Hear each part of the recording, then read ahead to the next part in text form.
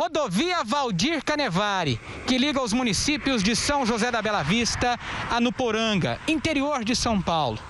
Uma região tomada por canaviais e fazendas.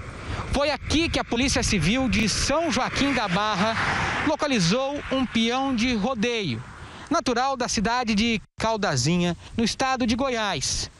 Ele saiu de lá atrás de trabalho. Foi para Ribeirão Preto, mas por conta da pandemia ficou sem serviço. Quis voltar para casa, mas ficou sem dinheiro também e acabou parando em algumas cidades, em algumas fazendas para trabalhar. Esse peão de 29 anos é Anderson Cardoso Domingues. A família dele está desesperada. Eles já fizeram buscas também no estado deles, porque Anderson foi visto pela última vez no dia 24 de setembro, em Ribeirão Preto, onde estava trabalhando, e disse que ia voltar para casa. Só que ele nunca chegou. Nunca ficou tanto tempo sem dar notícia. Sempre ligava para a mamãe, ficava um, dois dias, mas sempre ele ligava. Se tivesse perdido o celular, ele pegava o celular emprestado, mas sempre mantinha contato com a mamãe. Inclusive, é, eu queria pedir é, as pessoas que tiver junto com ele, é, fazer uma ligação de vídeo para mim, que eu busco onde tiver, o coração tá aberto, a família tá sofrendo demais. Meu filho, Volte, volte, que a família está desesperada. Esse peão de rodeio está trabalhando em uma fazenda, aqui no município de Nuporanga, no quilômetro 11 da rodovia Valdir Canevari. É nessa estrada de terra. Nós estamos seguindo uma viatura da Polícia Civil. Os investigadores da DIG de São Joaquim da Barra localizaram esse jovem. Chegamos aqui na fazenda, ele não quer gravar entrevista, ele não quer conversar com a nossa equipe. Tentamos por várias vezes.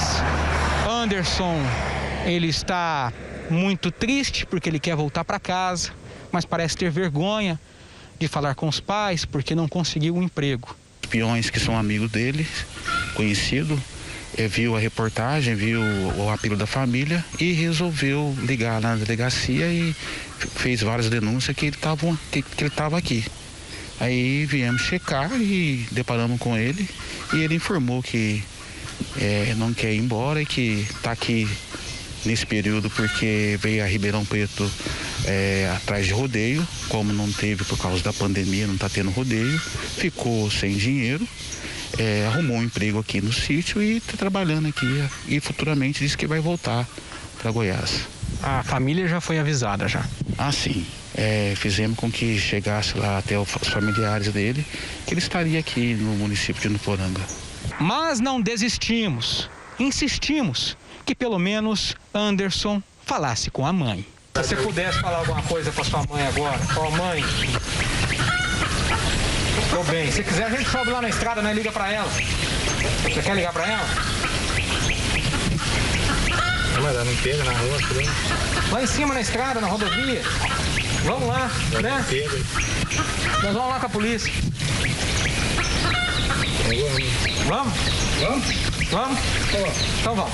Ele concordou, nós paramos aqui agora nessa estrada, ele está com o telefone da mãe dele anotado em uma caderneta. Nós vamos ligar agora para ela e vai ser muita emoção nesse momento ele se reencontrar com a família, conversar mesmo que à distância. Oi, Anderson, tudo bem? Boa senhora.